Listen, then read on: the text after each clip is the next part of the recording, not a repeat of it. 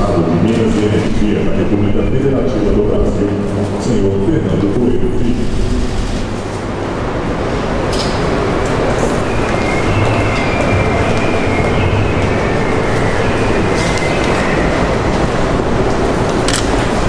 Rápidas palavras, rápidas palavras, prezado colega ministro Aloysio Nunes, caro amigo Fatih Birol, diretor executivo da Agência Internacional de Energia, senhoras e senhores.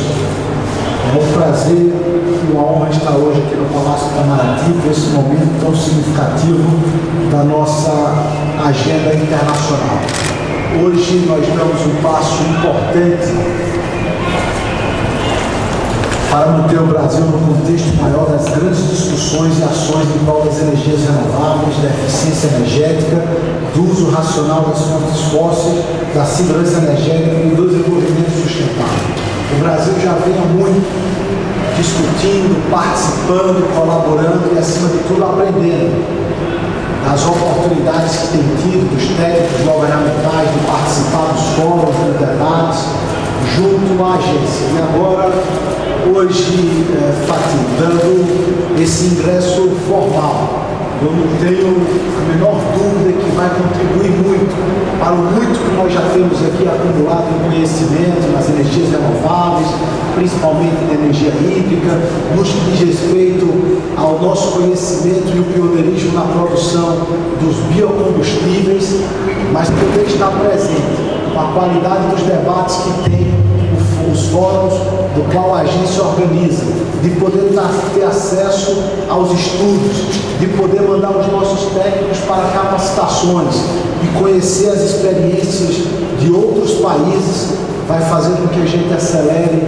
ainda mais a busca do nosso conhecimento, do nosso desenvolvimento, para que a gente possa manter o Brasil sempre na liderança na questão dos biocombustíveis, para que a gente possa incrementar as nossas outras matrizes, aproveitando as nossas oportunidades e potencialidades, mas mantendo sempre o nosso é, protagonismo de ser um dos países que tem o maior percentual da sua matriz energética concentrada em energias renováveis, algo que é muito caro para o povo brasileiro, é muito caro para o país e nós não vamos desviar disso nenhum minuto. Por isso, me recebendo aqui, agradecer a deferência do ministro Aloysio Nunes por poder estarmos recebendo aqui essa manhã tarde em Brasília no Palácio de Itamaraty, como tem de ser, porque esse ato de hoje é fundamental, como eu disse, para o futuro dessas discussões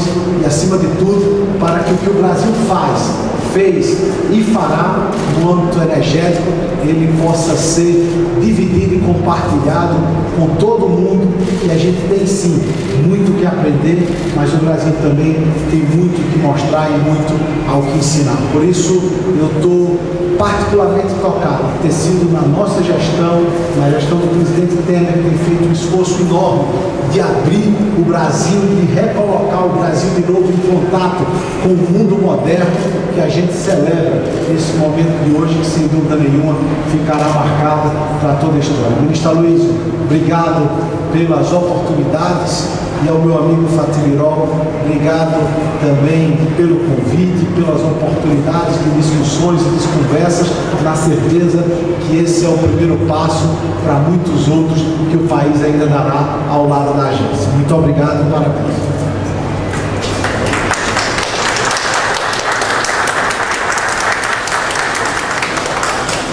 Neste momento, para uso da palavra, o diretor executivo da Agência Internacional de Energia, senhor Patrício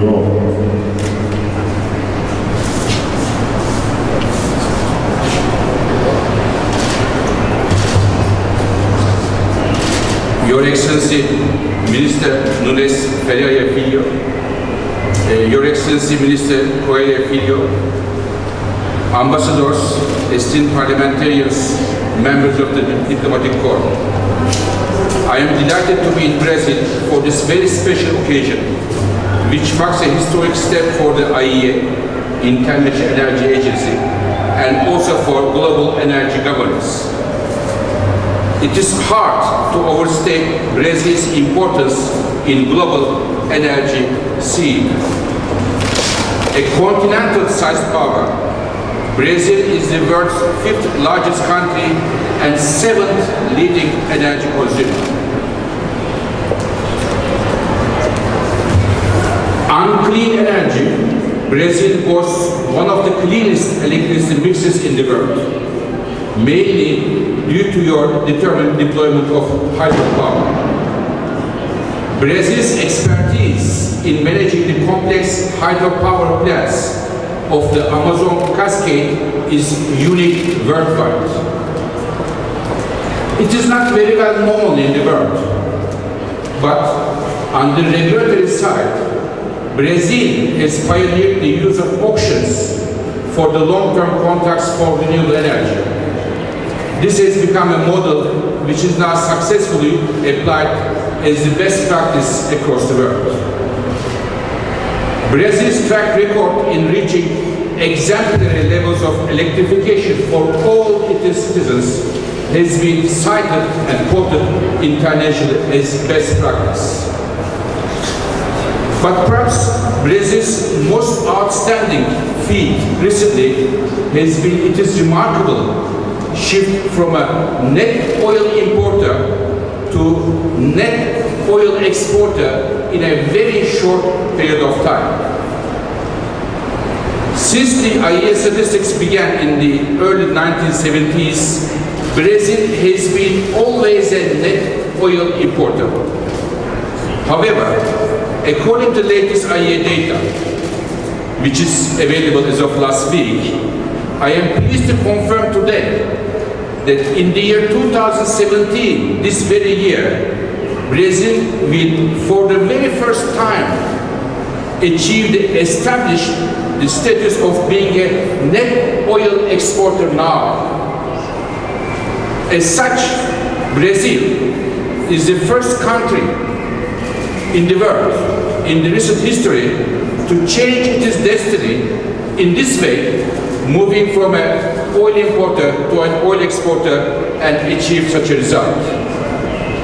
This success story has been built around two major pillars, which demonstrate, which is very important for the IEM. That is, government policies do matter government policies do matter. What are these two important policies brought Brazil such a successful achievement? First, in the past decade, Brazil's oil production has increased more than 50%, mainly as a result of strategic decisions to develop the upstream sector and invest in these deep water oil resources. Here, I would like to congratulate Brazil on the highly successful pre-salt bid round last week, which will bring tens of billions of US dollars in investments to Brazil. Recent reforms have made Brazil more attractive for such large-scale investment. Congratulations, Mr. Minister. New dynamism in the pre-salt will contribute to kickstart a new development cycle in Brazil and establish Brazil as a major exporter. We expect by the year 2022, five years of time, Brazil will be exporting about 1 million barrels per day. This is the first pillar of the success story of being a net oil exporter. The second pillar is the well-known biofuels program, including a strong R&D. This has helped the oil demand growth in a modest way, keep a control on the oil demand growth, substituting oil. And Brazil's biofuels leadership is now helping promote this important source of low carbon energy around the world. Biofutures program is an excellent program and IEA is proud to be associated and contribute to this program. Taking all these success stories shows that long-term Brazilian government policies are now paying off.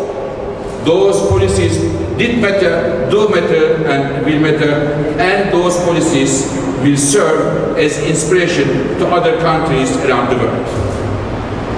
Finally, Excellencies, a bit on the International Energy Agency. We are welcoming Brazil today into the IEA family as it is a very important step for us. I took over as the executive director of the IEA in the year 2015 with a clear vision to modernize the IEA based on three strategic pillars. Number one, as I told the uh, uh, uh two ministers a few minutes ago, we opened the doors of the IEA to emerging world. Number two, we broadened our energy security concept beyond oil to gas and electricity security. And number three, turn the IEA into a global clean energy hub, including energy efficiency. And Brazil is key to advance along all these three strategic uh, pillars. Now, in terms of opening the doors, with Brazil joining the IEA family today as an associate member after China, India, Indonesia, Morocco, Singapore, and Thailand. Altogether, IEF family today covers about 72% of the global energy consumption, which was only 40% two years ago. So therefore, this is a very important step for the IEF. For these reasons, uh, Minister Nunes Pereira Filho, Minister Coelho Filho, Your Excellencies, and distinguished guests, I am very proud to join the ENAS Brazil Association with the IEA today. The work program 2017-19, which I will sign with Minister Coelho shortly, reflects very well the potential of our bilateral cooperation and Brazil's unique contribution to global energy debates. As a lifelong football fan, I'm a big football fan, I cannot resist also making a refer reference to another area in which Brazil excels. I was very much impressed by the recent impressive victories in World Cup qualifiers. I hope that in implementing our joint work program, we can be as effective the team under your coach, Tite, who began his tenure with four goals, he said. Excellence, democratization, modernity, and transparency. These are the very sentiments we very much agree with at the International Energy Agency. I would like to thank Minister Filho for his strong leadership in driving the IEA-Brazil relationship. Thanks also go to Deputy Minister Pedroso, as well as Dr. Barroso, President of EPA, for their excellent work with us over the past year. I would also like to acknowledge Minister Nunes Ferreira Filho for his great support to the initiative and Ambassadors uh, uh, Marcondes and uh, Ambassador Campos in uh, Paris for their key engagement in coordinating the association consultation over the past months. This institutional tie we are jointly establishing today will be a major step forward in our excellent relationship. I believe it will also allow the expertise and experience of Brazil to be shared worldwide. Thank you very much, and once again, welcome to the IEF family. Thank you very much.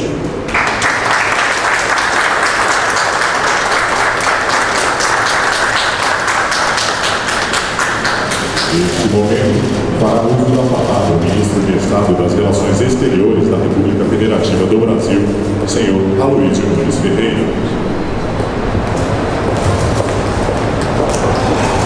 senhoras e senhores, prezado colega, ministro Fernando Filho, o diretor executivo da Agência Internacional de Energia, os colegas do Ministério, os embaixadores, representantes do diplomático. É um grande prazer para nós hoje participarmos dessa cerimônia. Nós hoje vamos assinar uma, um ato de associação formal do Brasil com a Agência Internacional de Energia. E, em consequência disso, já hoje firmaremos um programa de trabalho de colaboração entre o Brasil e a agência. Uma aprovação que, aliás, já vem ocorrendo. A Agência Internacional de Energia trabalhou muito proximamente a nós em várias ocasiões, inclusive na, na época do memorável Acordo de Paris sobre tem uma colaboração cotidiana conosco, troca de experiências, treinamento. Nós somos, nós figuramos no World Energy Outlook, que é uma publicação que é a referência mundial em matéria de energia, portanto algo que já vem se desenvolvendo ao longo do tempo. Mas hoje é para nós particularmente importante esse dia, porque nós hoje é, formalizamos este, este ingresso no que o secretário chamou de família, e isso significa o reconhecimento por parte da Agência Internacional de Energia da extraordinária importância que o Brasil tem no contexto energético mundial. O Brasil é uma grande potência energética e é também uma grande referência em matéria de sustentabilidade. Por outro lado, a Agência Internacional de Energia, para nós, é uma plataforma importantíssima para troca de experiências, para conhecermos as boas práticas que se fazem, que se fazem em outros países, para comunicarmos também as nossas experiências, para divulgarmos os nossos resultados, para treinarmos o nosso pessoal, de modo que é uma colaboração que seguramente dará muitos bons frutos no futuro. Esta agenda, meus amigos, ela se deve à atuação conjunta, ao trabalho conjunto do lado brasileiro, do Ministério de Minas e Energia e do Ministério das Relações Exteriores. Eu sou um fã incondicional do ministro Fernando Filho. É um extraordinário político do nosso país. É, a sua competência é reconhecida por todos nós. É um interlocutor altamente qualificado Brasil, o setor energético brasileiro, como os setores energéticos de outros países e montou uma equipe de trabalho, não só no seu gabinete, mas nas empresas, subordinadas a ele, de primeiríssima qualidade. Mas essa também é uma agenda do Itamaraty, porque um dos principais atributos da presença internacional no Brasil é exatamente o fato de sermos uma grande potência energética e uma grande referência em matéria de sustentabilidade. Nós somos, como todos sabem, protagonistas do, dos Acordos de Paris. Nós fomos pioneiros na internalização das normas que integram esse acordo. E somos, em todos os momentos, nós reafirmamos a importância desses acordos no momento em que eles estão sob ataque. Para nós, a a, implementação dos acordos de Paris é uma exigência da humanidade. Não podemos submeter esta agenda, que é a agenda da humanidade, a, a conjunturas políticas variáveis nos diferentes países.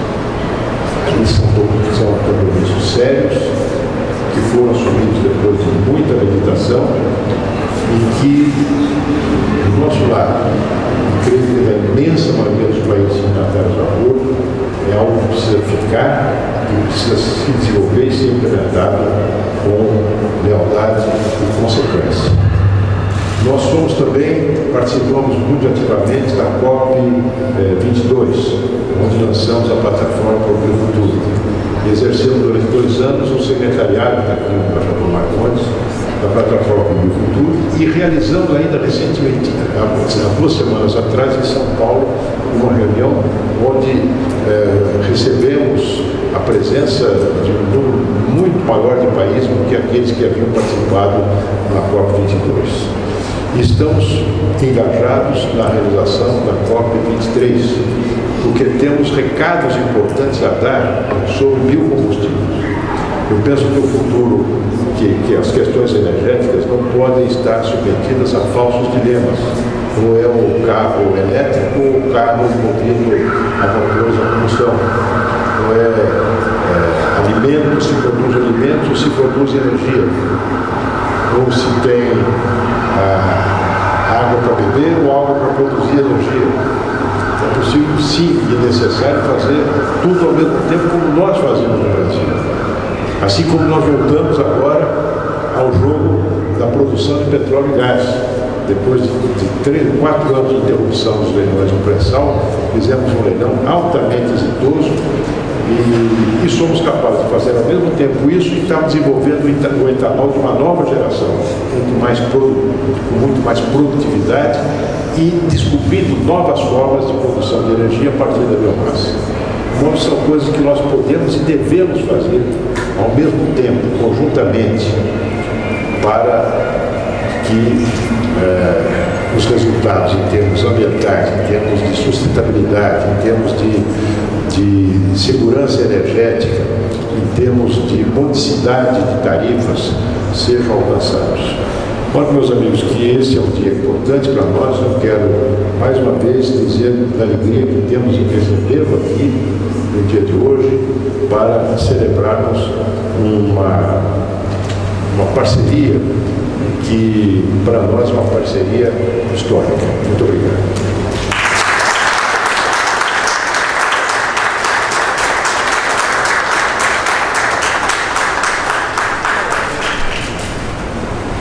Neste momento, o ministro de Estado de Minas e Energia e o diretor executivo da Agência Internacional de Energia assinam Programa de Trabalho Conjunto 2017-2019 entre o Ministério de Minas e Energia e a Agência Internacional de Energia.